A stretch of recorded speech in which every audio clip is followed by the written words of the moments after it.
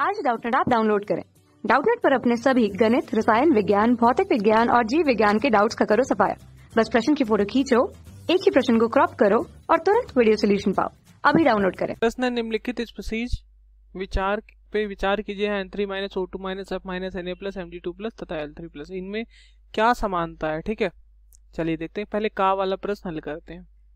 ठीक है? तो समानता इसमें पूछा गया है। तो एन थ्री अगर माइनस है एन थ्री माइनस ठीक है? और यहाँ ओ टू माइनस ठीक, हमें पता है एन थ्री माइनस में सात परमाणु क्रमांक होता है। नाइट्रोजन का तीन इलेक्ट्रॉन ने जोड़ लिया। तो कितने हो गए? तीन माइनस तीन इलेक्ट्रॉन ने ले लिया, सात, तीन, दस इलेक्ट्रॉन ओ टू माइनस की बात करें तो आठ इलेक्ट्रॉन होते हैं। बाहरी पूरे मतलब इसके पूरा आठ इलेक्ट्रॉन होता है, आठ परमाणु क्रमांक, आठ इलेक्ट्रॉन दो इलेक्ट्रॉन से जोड़ लिया, कुल कितने इलेक्ट्रॉन हो गए? दस इलेक्ट्रॉन ठीक है? फिर हमारा एफ़ माइनस है। एफ़ माइनस है एन ए प्लस है एम जी टू प्लस है ए एल थ्री प्लस है। ओके चलिए देखते हैं। तो एफ़ माइनस है क्लोरीन का परमाणु क्रमांक नौ होता है माइनस है, एक इलेक्ट्रॉन इसने ले लिया, कुल कितने इलेक्ट्रॉन दस इलेक्ट्रॉन सोडियम का परमाणु क्रमांक ग्यारह होता है, एक इलेक्ट्रॉन इसने दे दिया, एक प्लस चिन्ह है, इसलिए दस इलेक्ट्रॉन यहाँ है। एम जी टू प्लस बारह होता है पूरा, इसने दो इलेक्ट्रॉन दे दिया, कुल दस इलेक्ट्रॉन हो गए। एल थ्री में पूरे तेरह इलेक्ट्रॉन होते हैं थ्री प्लस है, तीन इलेक्ट्रॉन ने दे दिया, इसलिए कुल कितने हो गए? दस इलेक्ट्रॉन हो गए। तो सब में दस इलेक्ट्रॉन है। ठीक है, ये इसलिए कैसी स्पीसीज है। ठीक, ये सम इलेक्ट्रॉनिक स्पीसीज है। ठीक है? ठीक है?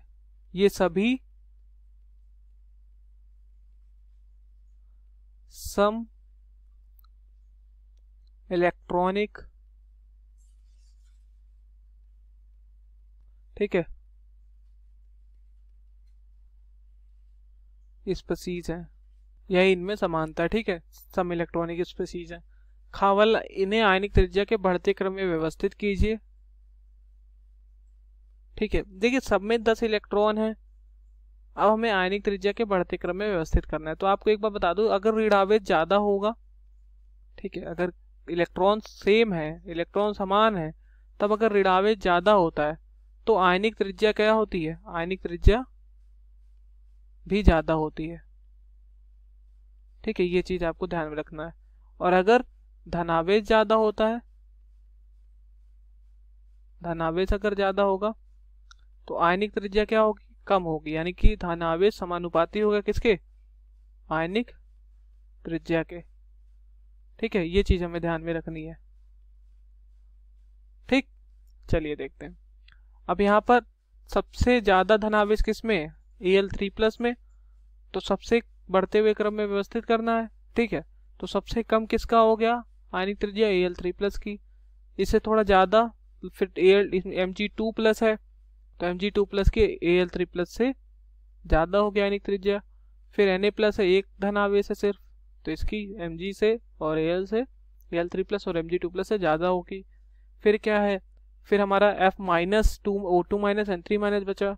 तो यहाँ पर ऋण आवेश ज़्यादा आयनिक त्रिज्या ज़्यादा। ऋण आवेश कम, आयनिक त्रिज्या कम। तो ऋण आवेश यहाँ पर क्या है? एफ़ माइनस तो इसकी हो गई। फिर उसके बाद एफ़ ओ टू माइनस उससे ज़्यादा है। फिर एन थ्री माइनस है तो सबसे ज़्यादा एन थ्री माइनस की।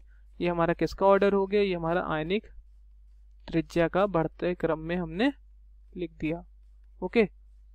ये हमारा काका हल हो गया। थैंक यू कक्षा छठी से बारहवीं से लेकर NEET I I T JEE वो एडवांस के लेवल तक। एक करोड़ से ज़्यादा छात्रों का भरोसा। आज ही डाउनलोड करें डाउट नेट ऐप या व्हाट्सएप करें अपने सारे डाउट्स आठ चार सौ चार सौ चार सौ पर।